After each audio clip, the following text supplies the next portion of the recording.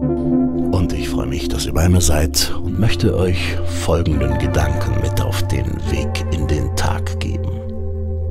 Folgt eurem inneren Pinguin und watschelt vergnügt durch das Leben. Und wisst ihr was? Genau das möchte ich heute tun. Ich möchte mich nicht mit einem Löwen vergleichen, der immer laut brüllt, nicht mit einem Bären, der immer stark sein muss, nicht mit einem Leoparden, der immer schnell sein muss, nicht mit einer Giraffe, die immer höher sein muss als alle anderen, um alles zu erreichen. Nein, ich möchte heute einfach mal meinem inneren Pinguin folgen und vergnügt durch das Leben watscheln.